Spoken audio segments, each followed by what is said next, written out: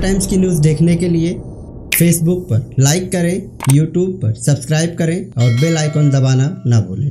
मैं इस्लामुद्दीन खान और आप देख रहे हैं प्रहार टाइम्स माहिम दरगाह के ट्रस्ट के एक ट्रस्टी डॉक्टर मुदस्सर निसार लांबे पर एक महिला ने बलात्कार का आरोप लगाते हुए माहिम पुलिस स्टेशन में शिकायत दर्ज कराई है। भारतीय दंड संहिता की धारा तीन सौ छिहत्तर, तीन सौ अट्ठाईस, पाँच सौ छः के तहत ये मामला दर्ज किया गया है।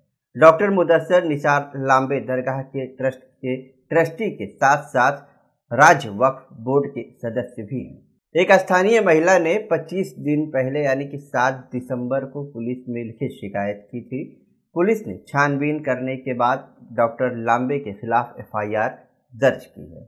वही महिला द्वारा लगाए गए बलात्कार के आरोपों को डॉक्टर मुदस्तर लांबे गलत और बेबुनियाद बता रहे हैं। एफआईआर दर्ज होने के बाद दरगाह के मैनेजिंग ट्रस्टी सुहेल खंडवानी की तरफ़ से भी बयान सामने आया है। एफआईआर के बारे में माहिम दरगाह ट्रस्टी न्यासी बोर्ड की सोमवार को एक अहम बैठक होगी, जिसमें आगे की कार्रवाई की बात होगी। इस होने वाली बैठक को भी इस नज़र से देखा जा रहा है कि माहिम दरगाह ट्रस्ट की गरिमा और प्रतिष्ठा बनाए रखने के लिए डॉक्टर मुदस्सर निसार लांबे को बाहर का रास्ता दिखाया जा सकता है।